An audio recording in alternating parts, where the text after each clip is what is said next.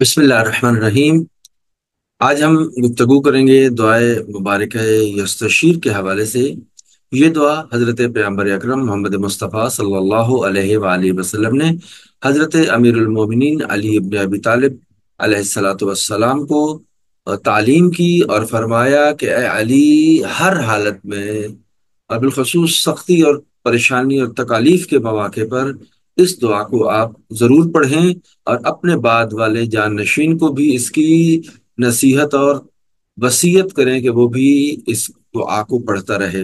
یہ دعا رزق میں وسعت و برکت کے حوالے سے اور مالی پریشانیوں کی دوری کے حوالے سے زندگانی میں جو انسان کی مشکلات اور تکالیف آ رہی ہوتی ہیں، ان کو دور کرنے کے لیے گویا ہر قسم کی تکلیف اگر ہے تو اس دعا کے پڑھنے سے وہ تکلیف دور ہوتی ہے، رزق و صحت و جان و مال میں جو ہے وہ پروردگار عالم جو ہے وہ برکت ادا کرتا ہے۔ کیوں؟ کیونکہ اس دعا میں پروردگار عالم کی بہت زیادہ تعریف کی گئی ہے، اس کی صفات کو بیان کیا گیا ہے۔ اور جب بندہ جو ہے وہ اس دعا کی پڑھتا ہے اور اس کے ترجمہ کی جس کی ریکارڈنگ جو ہے وہ ہم آپ کی خدمت میں بھی پیش کریں گے کہ آخر میں آپ دعا کو سنیں گے تو وہاں سے خود آپ اندازہ لگائیں گے کہ امیر المومنین کو پیغمبر اکرم نے کس انداز میں توحید سمجھائی۔ اور یہ بتایا کہ اگر انسان جو ہے وہ ان حالات میں اپنے رب کو جان رہا ہے، اپنے رب کو پکار رہا ہے، اپنے رب کی معرفت رکھ رہا ہے، تو اس کے لیے پھر یہ ساری مشکلات بھی آسان بھی ہو جائیں گی اور دور بھی ہو جائیں گی۔ اور بالخصوص یہ دعا جو بچیاں بچے جو والدین جو ہے وہ ان کے رشتوں کے حوالے سے پریشان ہیں، اس کے لیے بھی یہ بہت زیادہ مجرب ہے۔ دعا کرتے ہیں کہ پروردگار ہم سب کو اس دعا کو پڑھنے، سمجھنے اور اس کے مفاہیم و مطالعے پر غور و فکر کرنے کی توفیق عطا کرتے ہوئے ہماری تمام مشکلات کو دور فرمائے۔ والسلام علیکم ورحمۃ اللہ وبرکاتہ۔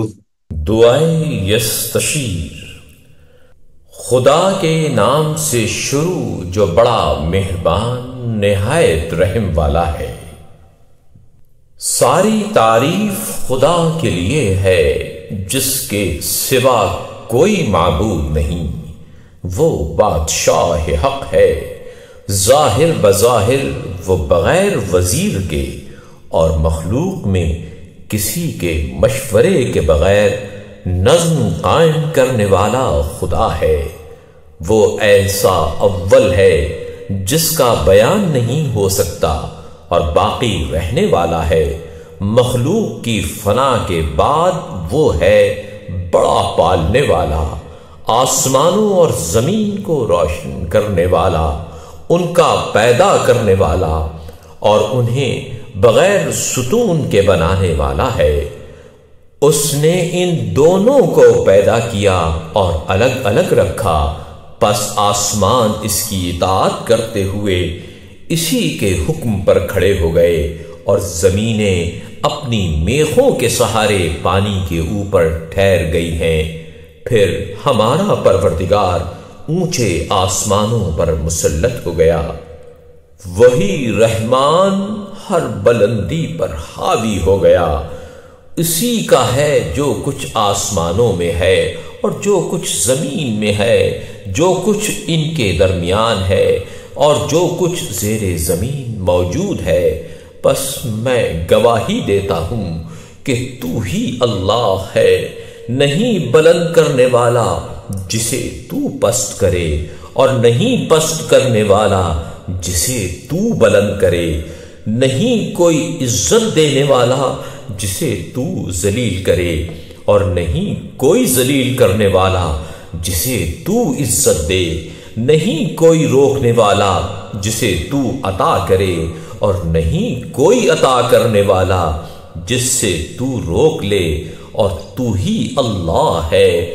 نہیں کوئی معبود سوائے تیرے تو موجود تھا جب آسمان بلند نہیں کیا گیا تھا اور نہ زمین بچھائی گئی تھی اور نہ سورج چمکایا گیا تھا، نہ تاریخ رات اور نہ روشن دن پیدا ہوا تھا، نہ سمندر موجزن تھا، نہ کوئی اونچا پہاڑ تھا، نہ چلتا ہوا ستارہ تھا اور نہ چمکتا ہوا چاند اور چلتی ہوئی ہوا تھی۔ نہ ہی برسنے والا بادل تھا، نہ چمکنے والی بجلی اور نہ کڑکنے والے بادل، نہ سانس لینے والی روح اور نہ اڑنے والا پرندہ تھا۔ نہ جلتی ہوئی آگ اور نہ بہتا ہوا پانی، بس تو ہر چیز سے پہلے تھا اور تو نے ہر چیز کو بنایا۔ تو ہی ہر شے پر قادر و قدیر ہے۔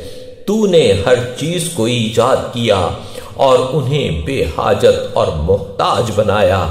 اسے موت اور زندگی دیتا ہے، ہنساتا ہے اور رلاتا ہے اور تو عرش پر حاوی ہے۔ پس تو با برکت ہے۔ اے اللہ، تو بلند ہے۔ تو وہ اللہ ہے کہ نہیں کوئی معبود سوائے تیرے۔ تو پیدا کرنے والا، مدد دینے والا ہے۔ تیرا حکم غالب، تیرا علم گہرا اور تیری تدبیر عجیب ہے۔ تیرا وعدہ سچا اور تیرا قول حق ہے۔ اور تیرا فیصلہ عادلانہ اور تیرا کلام ہدایت والا ہے۔ تیری وہی نور اور تیری رحمت وسیع ہے۔ تیری بخشش عظیم، تیرا فضل کثیر اور تیری عطا بہت بڑی ہے۔ تیری رسی مضبوط اور تیری قدرت آمادہ ہے۔ تیری پناہ لینے والا قوی تیرا حملہ سخت اور تیری تجویز پیش دار ہے۔ اے پروردگار، تو ہر شکایت کے پہنچنے کی جگہ ہر جماعت میں موجود اور ہر سرگوشی کا گواہ ہے۔ تو ہر حاجت کی پناہ، ہر غم کو دور کرنے والا، ہر بیچارے کا سرمایہ، ہر بھاگنے والے کے لیے قلعہ، ہر ڈرنے والے کے لیے جائے امن، کمزوروں کی ڈھال، فقیروں کا خزانہ غموں کو مٹانے والا اور نکوکاروں کا مددگار ہے۔ یہی اللہ ہمارا رب ہے۔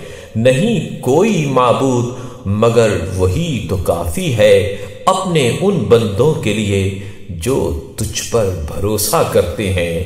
تو پناہ ہے اس کی جو تیری پناہ چاہے اور تجھ سے فریاد کرے۔ مددگار ہے اس کا جو تجھ سے مدد مانگے۔ ناصر ہے اس کا جو تیری نصرت چاہے۔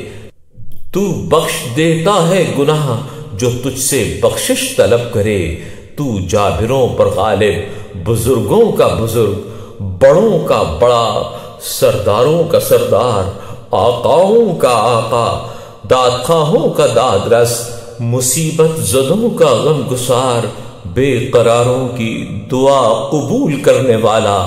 سننے والوں میں زیادہ سننے والا، دیکھنے والوں میں زیادہ دیکھنے والا، حاکموں میں زیادہ حکم کرنے والا، جلد حساب کرنے والا، رحم کرنے والوں میں زیادہ رحم کرنے والا، بخشنے والوں میں سب سے بہتر مومنوں کی حاجت بر لانے والا نکوکاروں کا فریاد رس، تو ہی معبود ہے۔ نہیں کوئی معبود سوائے تیرے، تو عالموں کا رب ہے، تو خالق ہے، میں مخلوق ہوں، تو مالک ہے، میں مملوک ہوں، تو پروردگار ہے، میں تیرا بندہ ہوں، تو رازق ہے اور میں رزق پانے والا ہوں، تو عطا کرنے والا اور میں مانگنے والا ہوں، تو سخاوت کرنے والا اور میں کنجوس ہوں۔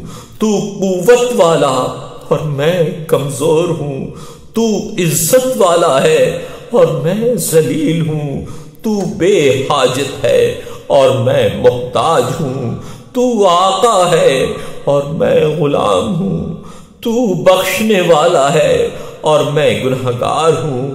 تو علم والا ہے اور میں نادان ہوں۔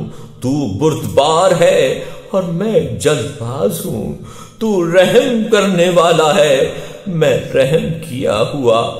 تو آفیت دینے والا ہے۔ اور میں پھنسا ہوا ہوں۔ تو دعا قبول کرنے والا۔ اور میں بے قرار ہوں۔ اور میں گواہی دیتا ہوں کہ بے شک تو ہی معبود ہے۔ نہیں کوئی معبود مگر تو جو اپنے بندوں کو بن مانگے عطا کرتا ہے۔ اور میں گواہی دیتا ہوں کہ یقیناً تو ہی ہے خدائے یگانا یکتا بے مثل، بے نیاز، بے مثال، اور تیری ہی طرف واپسی ہے۔